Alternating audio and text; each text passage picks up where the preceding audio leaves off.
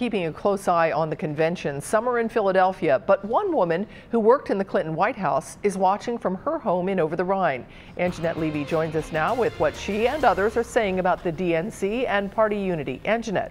Well, Cami, the people I've spoken with believe Bernie Sanders supporters will come around to supporting Hillary Clinton. Her supporters say the party is unifying around her. From her living room in Over the Rhine, Margy Waller is glued to the Democratic National Convention on two screens. I find it very interesting to see how it's all flowing and and of course I'm invested in how it's going to turn out too.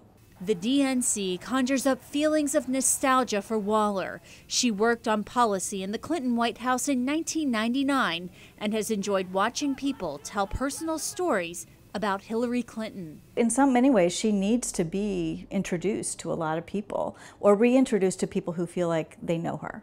And I, th I think that throughout the convention, they've been doing an amazing job of doing that. There have been questions about party unity since some Bernie Sanders supporters still aren't getting behind Clinton. Delegate Connie Pillich sees the mood shifting. The mood is very upbeat about how the party's coming together and how people are uniting behind our nominee. Pillich wants to hear how Hillary Clinton plans to get people working again in jobs that pay a decent wage.